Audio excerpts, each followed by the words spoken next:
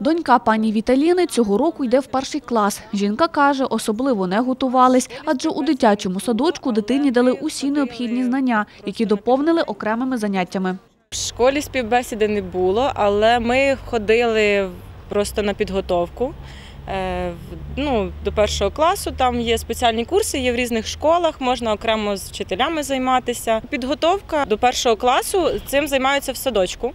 Е, В старшій групі це підготовча група, і з ними, в принципі, якщо просто для дитини хочете більшого, е, більше щось дати для дитини, щоб в неї було більше знань, тоді варто ще записувати на якісь окремо на якісь заняття. Подібна процедура зарахування у перший клас і у спеціалізованих школах. За законом України у цих навчальних закладах проходять співбесіди, у яких потенційному першачку потрібно виконати завдання. До прикладу, у Хмельницькій спеціалізованій школі номер 30 саме так і набирають у перший клас. Майбутньому учню необхідно за 30 хвилин виконати завдання. Хоча е, школа і спеціалізована з англійською мовою, ми не вимагаємо якихось знань з англійської мови, тому що це все-таки ми вважаємо більше механічне заучування. Ми не вимагаємо знання читати чи писати. Це є е, перевірка загального розвитку дитини, тобто перевірка пам'яті, перевірка мовлення.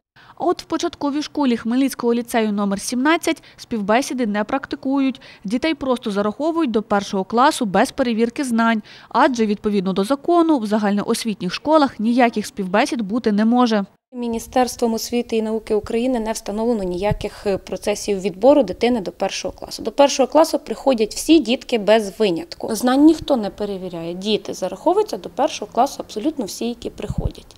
А уже потім в процесі навчання ми бачимо, кому десь треба підтягуватися, кому потрібно працювати над словником. Далі вже починається індивідуальна робота і з дитиною, і з її батьками. Проте необхідні базові знання у першокласника мають бути, розповідають педагоги. Обов'язково дитина має володіти певним запасом знань про оточуючий світ, орієнтуватися в порах року, місяцях, е, чи, чи дні тижня. Ну і такі загальні навички. Та якщо співбесіди допомагають педагогам визначити рівень знань майбутнього першокласника, то для дітей це може викликати стрес.